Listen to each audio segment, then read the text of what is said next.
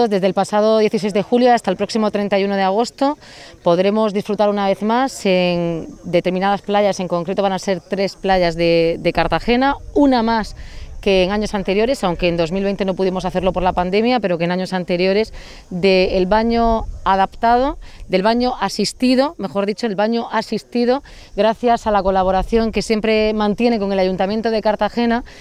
CaixaBank, la Fundación La Caixa y también imprescindible Fandif a través de todo su equipo con la presidenta, con su presidenta Carmen Gil. Eh, creo que hoy es un día importante porque desde este momento ya hemos podido comprobar cómo desde las once y media de la mañana y hasta las 7 de la tarde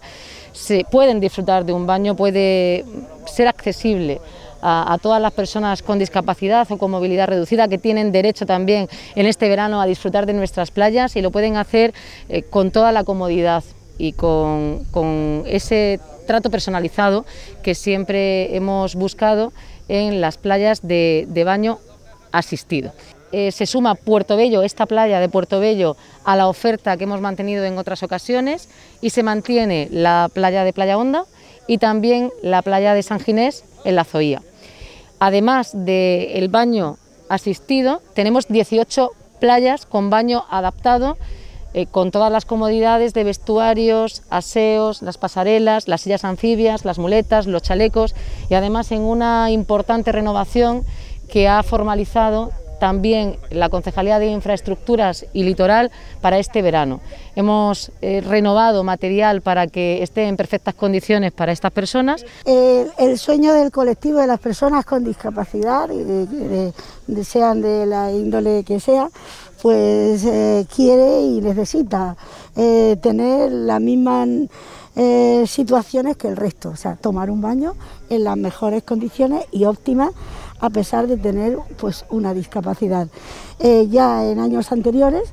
tuvimos la oportunidad con el Ayuntamiento de Cartagena, con la Caixa, con CaixaBank, de poder realizar este proyecto. el hecho de que tengamos en fechas, en tiempo y forma, que eso es muy necesario para nuestro colectivo, como cualquier otra persona, poder optar a estos baños asistidos. El hecho de tener una playa más, el año pasado fueron, anteriormente, hace dos años, fueron dos playas, ahora son tres, y entendemos que se tiene que seguir ampliando al número de playas eh, tenemos un seguimiento prácticamente de 72 playas. Que la iniciativa es una iniciativa pionera, ya lo fue y ahora la estamos ampliando con esa tercera playa y sobre todo con esa ilusión de llegar al máximo número de personas en este ámbito, sabiendo, eh, oye, que es también una necesidad después de un periodo de pandemia tan importante que hemos vivido, que estamos viviendo y que debemos seguir, pues lógicamente manteniendo las medidas más adecuadas para que esta quinta ola pues no se amplíe eh, demasiado dentro de la región, yo creo que se está haciendo muy bien en ese sentido y el estar al aire libre, el estar en la playa, el poder darse un baño asistido como es en el caso de estas tres playas es maravilloso.